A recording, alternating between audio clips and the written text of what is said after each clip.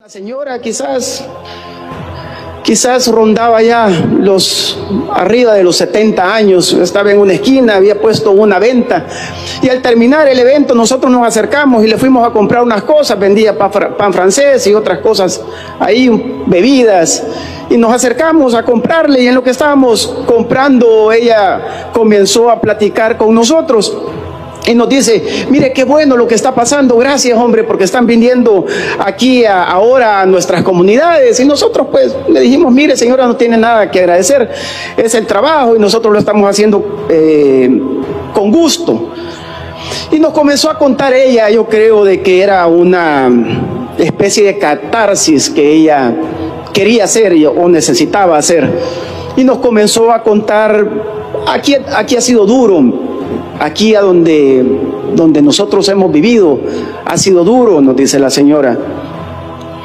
En lo personal, a mí me tocó vivir una experiencia muy difícil, comentando la señora, a los que estábamos ahí.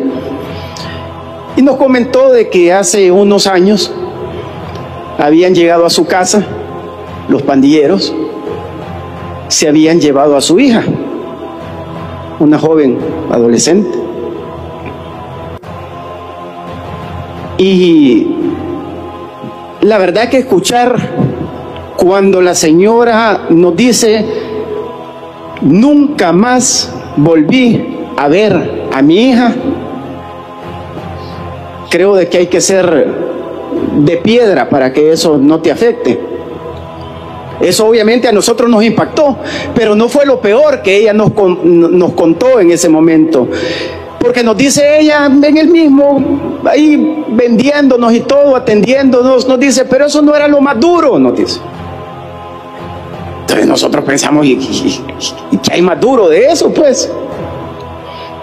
Y nos dice, lo más duro para mí es que todos los días tenía que ver al que se llevó a mi hija sin poder hacer nada. Y ahora con una palabra muy en salvadoreño. No lo podré decir aquí en esta ocasión. Ese hijo es por tanta, nos dice la señora. Está preso. Y por eso ella estaba contenta. Y eso es lo que a nosotros como diputados en esta nueva asamblea legislativa. Es lo que nos carga y nos llena de energía para seguir adelante. Por eso es que nos sentimos agradecidos por el momento histórico en el que estamos viviendo. Por eso es que nos sentimos agradecidos por la decisión que el pueblo salvadoreño tomó en las últimas dos elecciones en donde colocó a un presidente que ha, ha tenido el valor de tomar estas decisiones y una asamblea legislativa que está dispuesta a todo para seguir apoyando las decisiones de nuestro presidente.